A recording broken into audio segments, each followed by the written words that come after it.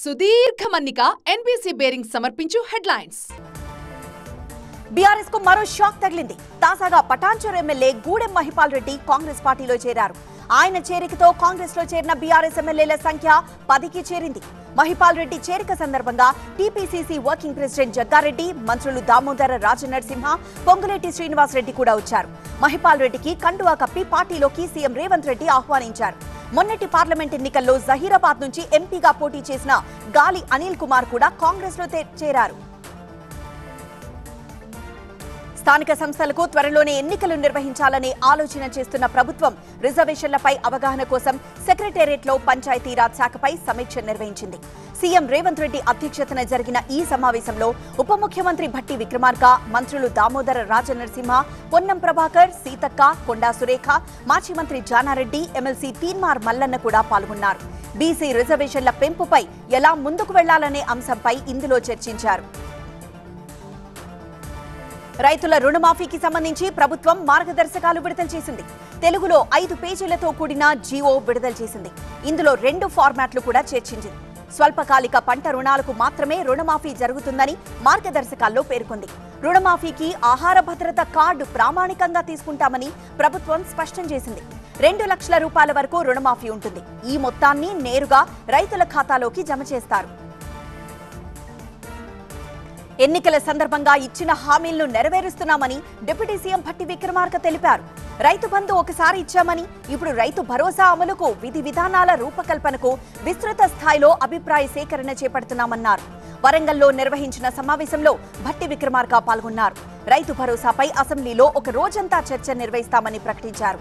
రైతులకు అందించే రైతు భరోసా సొమ్ము ప్రజల పన్నుల రూపంలో కట్టినవేనని గుర్తు చేశారు. అందుకే ప్రతి పైసా సక్రమంగా వినియోగించేందుకు అన్ని వర్గాల నుంచి సూచనలు తీసుకుంటున్నామని భట్టి తెలిపారు. కొండలు ఫామ్ హౌస్లున్న వారికి గతంలో రైతు బంద్ ఇచ్చారని మంత్రులు తుమ్మల పొంగులేటి కొండా సురేఖ సీతక్క ఆరోపించారు. రైతు భరోసాపై ప్రభుత్వం పూర్తి స్పష్టతతో ఉందని మంత్రులన్నారు. రైతులను విపక్షాలు తప్పుదో పట్టిస్తున్నాయని మండిపడ్డారు. గతంలో రైతు బంధులో అక్రమాలు జరిగాయని అర్హులకు న్యాయం జరగలేదన్నారు. ప్రభుత్వం రూపొందించిన మార్గదర్శకాలు రైతులకు న్యాయం జరిగేలా ఉన్నాయని మంత్రులు వివరించారు. ఎలాంటి షరతులు లేకుండా రుణమాఫీ మంజూరు చేస్తామని చెప్పి ఇప్పుడు ఆ ఇన్ని నిబంధనలు ఎందుకు పెట్టారని బీజేపీ శాసనసభాపక్ష నేత మహేశ్వర్ రెడ్డి ప్రభుత్వాన్ని ప్రశ్నించారు.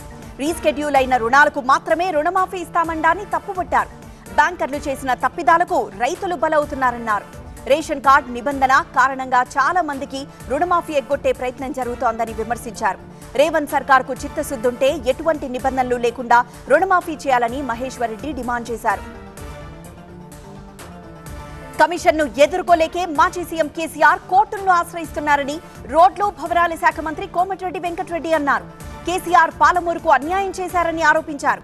కాళేశ్వరంపై చూపిన శ్రద్ధ పాలమూరుపై చూపలేదన్నారు. కేసీఆర్ అసెంబ్లీకొచ్చి మాట్లాడాలని డిమాండ్ చేశారు. తాము నిరుద్యోగులకు మంచి చేయాలని చూస్తుంటే బీఆర్ఎస్ రాజకీయం చేస్తోందని కోమటిరెడ్డి వెంకటరెడ్డి మండిపడ్డారు. తెలంగాణ ఇచ్చిన పార్టీ కాంగ్రెస్కే తెలంగాణను పాలించే హక్కుందని అన్నారు. బీఆర్ఎస్ ఎమ్మెల్యేల హక్కులు కాలరాస్తూ ప్రోటోకాల్ ఉల్లంఘనలు జరుగుతున్నాయని బీఆర్ఎస్ వర్కింగ్ ప్రెసిడెంట్ కేటీఆర్ ఆగ్రహం వ్యక్తం చేశారు. అహంకారపూరితంగా వ్యవహరిస్తూ ప్రజాస్వామ్య స్ఫూర్తిని ప్రభుత్వం దెబ్బతీస్తోందని కేటీఆర్ స్పీకర్ ప్రసాద్ కుమార్కు బహిరంగ లేఖ రాశారు. ఎమ్మెల్యేల హక్కులు ప్రోటోకాల్ ఉల్లంఘనలు జరగకుండా అడ్డుకోవాలని విజ్ఞప్తి చేశారు. అవసరమైతే ఈ విషయాన్ని అసెంబ్లీలోనూ లేవనెత్తుతామని కేటీఆర్ తెలిపారు.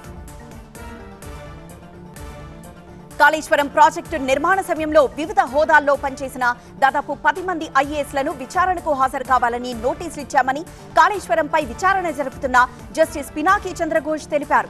వారి హయాంలో తీసుకున్న కీలక నిర్ణయాలు అమలు చేసిన విధానం ఆ నిర్ణయాలకు గల కారణాలను వారు వివరించారని జస్టిస్ ఘోష్ వెల్లడించారు. విచారణకు హాజరైన అందరికీ వారు చెప్పిన వివరాలతో వారం రోజుల్లో ఎఫిడవిట్ సమర్పించాలని సూచించినట్లు తెలిపారు.